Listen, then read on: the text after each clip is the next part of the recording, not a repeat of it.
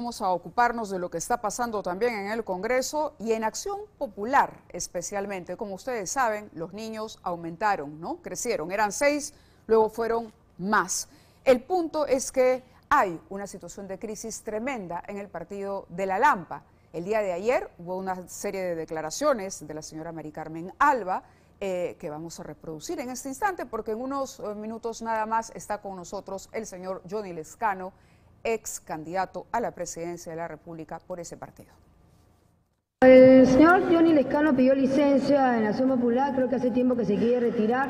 Más bien yo le diría que ya salga y forme su partido, porque cada día nos asombra más con sus twitters, siendo un trabajador de este Congreso, asesor de un congresista que ya no está en la bancada, que está en la bancada de Bermejo.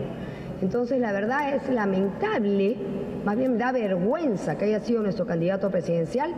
No tiene nada que ver con el pensamiento de Acción Popular de Fernando Belún de Terry, nos avergüenza y por supuesto no hay duda que ha tenido cercanía con el presidente Castillo eh, y con el partido Perú Libre.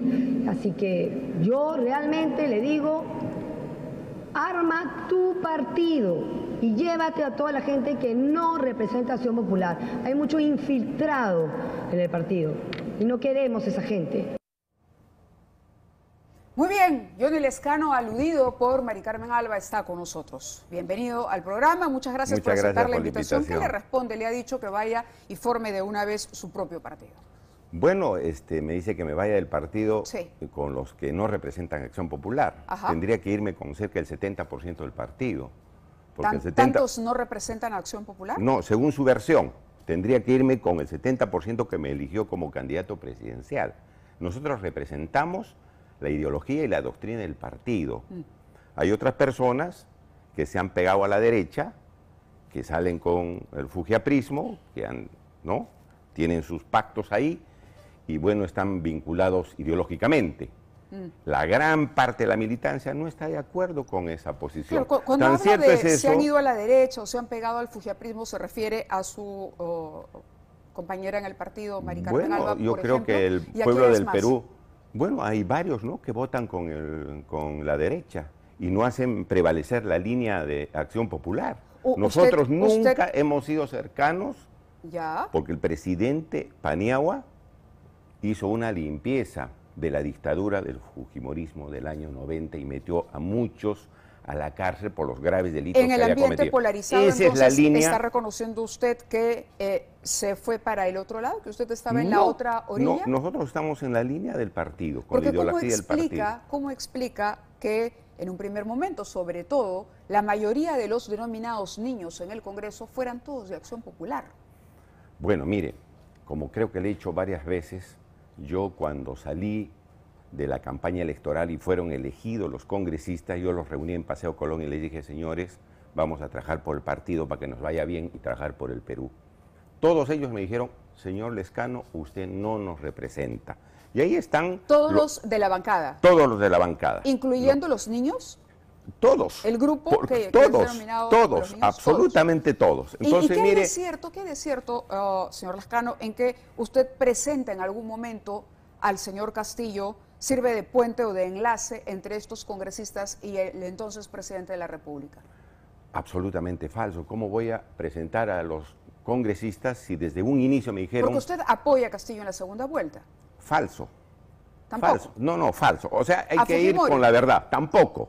Mire, no sé si usted estaba en esos momentos, digamos, siguiendo la, campaña, pero era público. Ahí están mis declaraciones. Yo dije, yo no voy a apoyar a una candidata que está acusada de corrupción, ni voy a apoyar a un señor que se demuestra que hay improvisación. Mm. Mi voto, fui el único candidato a la presidencia que dijo eso. Mi voto ser nulo. Voy a viciar porque yo no estoy obligado a votar por dos opciones malas millón cien mil personas en el Perú votaron viciado porque nos estaban obligando a votar seguro que de nunca, manera tal que nunca, nunca se reunió con Castillo y alguno de ah, estos No, no, mire, yo porque el que el que decía, acá tengo el dato ya recuperado y mucho más preciso, bueno, Bruno Pacheco ex eh, secretario del despacho, encargado del despacho presidencial en su momento, fue el que lo bautizó como el padre de los niños. No, no, el no. padre de los niños es No, no, no, él no fue. Yo no sé, tendría que leer. No, eso ha sido los topos, los troles de quienes son mis adversarios para pretender enlodarme a mí. Mm. Acabo de decirle que yo nunca he estado en una reunión con los congresistas de Acción Popular. Esa única vez donde me dijeron, señor, nosotros no queremos saber nada con usted. Como yo, una persona que nunca me reuní con los congresistas de Acción Popular. Pero se reunió con pues Castillo luego, ¿no? No, no, perdón. Yo me reuní con Castillo cuando fui a felicitarlo cuando salió presidente y muchos candidatos a la presidencia. ¿Fue la única reunión? Fue una y una segunda con el congresista Ceballos para ver temas de Puno. De ahí no ha habido ninguna otra reunión con el señor Castillo. Mm. ¿Y cuál es su opinión sobre la acusación que pesa? ¿Qué es lo que debería ocurrir con estos eh, congresistas que hoy están siendo Bueno, lo que está sucediendo, los están investigando en la Fiscalía, tienen que asumir su responsabilidad.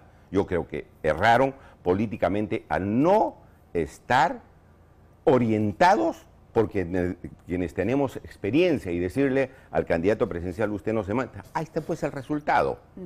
Todos investigados, no solamente en la subcomisión de acusaciones constitucionales, en la fiscalía y en la comisión de ética. Un gravísimo error. Yo se los he dicho, algunos de ellos cuando me he encontrado. ¿Ha conversado con alguno de ellos después para preguntarles por estos vínculos o por estas votaciones de pronto sospechosas? No, porque yo creo que a quien le dicen, oiga, no se meta, yo no tengo por qué preguntarles. Cada uno asumirá su responsabilidad. Yo ya cumplí en convocarlos en la primera vez y ellos, ahí están sus mensajes hechos públicos que no querían saber nada conmigo. ¿Cuál es Ahora su han salido, mire, ha salido unas informaciones, por ejemplo, ¿no? Para que sepa la población. Dice que yo al presidente Castillo le había sugerido el nombre del ministro de la Producción, Roger Incio. Eso ha salido. Entonces, yo al ingeniero Roger Incio, que es un distinguido ex militante de Acción Popular, ni lo conocía. Le dije, ingeniero, yo lo he recomendado a usted, yo le he presentado. No, señor Lescano. Y envió una carta al programa Panorama diciéndole, señor, falso, el señor Lescano nada tiene que ser conmigo porque ni siquiera nos conocíamos. Mm y ahí está la carta. voy a recibir el documento. Simplemente para terminar, su opinión sobre la situación de la presidenta Boluarte y las posibilidades que en realidad parecen muy pocas de que siga adelante esta moción de vacancia, ¿no? Incluso de que se admita trámite.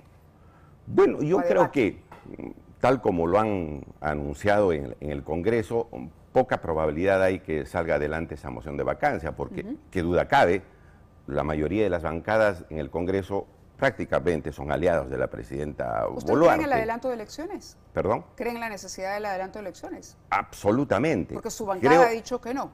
Bueno, para que vea que no tenemos nada que ver con la bancada de Acción Popular y mm. menos en los actos que han realizado. Esa es responsabilidad de ellos. ellos tienen que asumir lo que las investigaciones concluyan. Mm. De tal manera que yo no creo que la señora Boluarte debía mantenerse en el poder. Creo que varias veces yo le dije que debía renunciar y dar eh, tránsito a un gobierno precisamente donde se elija a un presidente que pueda conllevar unas elecciones adelantadas. yo creo que eso traería, claro, una transición. Yo creo que eso traería paz al país. Ahora, hay en esta situación que estamos que simplemente ha pasado el tiempo y nadie asume responsabilidad. Puno, por ejemplo, está en paralización periódicamente. Está parado la región. ¿Por qué Puno está reclamando eso? Porque la señora Boluarte no ha asumido ninguna responsabilidad política. No ha pedido perdón al pueblo de Puno. Ningún ministro que estaba en esos momentos de la matanza, que niegan la matanza, que es evidente que ha habido una matanza, ningún ministro ha sido destituido, está, retirado. Investigándose, ¿no? Está, Pero no, está investigándose, aunque claro, sí, es cierto que el gobierno debió decir algo, mm, acercarse. No, no, eh, y eh, sí, sí, entiendo su punto de vista. Esa es una investigación penal jurídica, pero la responsabilidad política tiene que ser inmediata. De acuerdo. Y eso no ha sucedido. El pueblo, mira, solamente puede haber paz si hay justicia. Con mis paisanos no ha habido ninguna justicia se han matado a más de 20 y no pasa nada. Mañana vendrá otro gobierno, nos va a matar y no va a pasar nada. Eso es muy peligroso para la democracia. Eso no, no puede ocurrir. No puede ocurrir, pero está ocurriendo. Nos tenemos que ir. Muchas gracias.